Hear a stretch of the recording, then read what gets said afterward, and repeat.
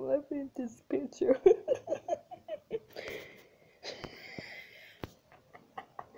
you look very weird.